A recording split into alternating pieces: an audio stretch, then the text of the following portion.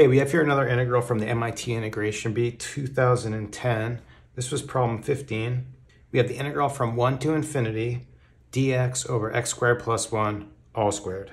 Okay, you may notice this looks a lot like the integral for arctan, uh, where we have x squared plus 1 in the denominator. It's just that it's squared, but I think we're still going to try the same technique and make a trig substitution. So what I'm going to do is I'm going to make, we're going to call x equal to tan of t. And then our dx is going to be just secant squared t dt. We also can just solve for t if we want, so we can say t is equal to uh, inverse tan or arctan of x.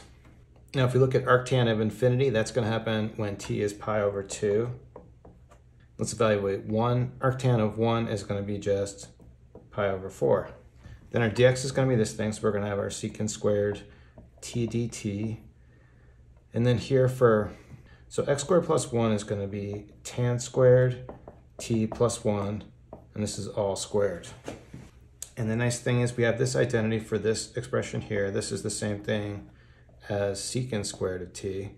So we have secant squared t squared. This is actually going to be just secant to the fourth t in the denominator. But then we have secant squared t over secant to the fourth t. We can do some cancellation. We'll cancel two of those with two of these. And then we have just secant squared t in the denominator. But secant squared t is the same thing as 1 over cosine squared t.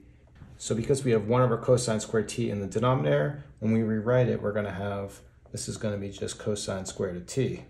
Next what I'm going to do is use another identity over here on cosine squared of t to reduce the, um, to reduce the power. So we have the formula that cosine squared t is the same as 1 half plus 1 half cosine 2t. And so now we'll just integrate this thing. So the integral of 1 half is going to be 1 half t. Then here, um, integral of cosine 2t is going to be sine 2t, but we need to bring a 2 out in the denominator. We already have a half, so it's a half times a half, 1 fourth, and we're just evaluating this from pi over 4 to pi over 2. So let's plug all this stuff in and see if we can finish this thing off. So pi over 2 times a half here is going to be pi over 4 here pi over 2 times 2 is going to be pi. Sine of pi is 0, so we'll skip that term. We'll move on to evaluating pi over 4. Then pi over 4, half times pi over 4 is going to be pi over 8. Pi over 4 in the sine term, okay, 2 times, 2 times pi over 4 is pi over 2. So sine of pi over 2 is 1. So this is going to be 1 times a fourth, and we're going to have just a 1 fourth there. And then just for simplification, let's get a common denominator here. So I'm going to write pi over 4 as 2 over 8. And then so 2 pi over 8 minus pi over 8 is going to be pi over 8. Distributing this minus in here, we're just going to have minus 1 fourth, and that's it.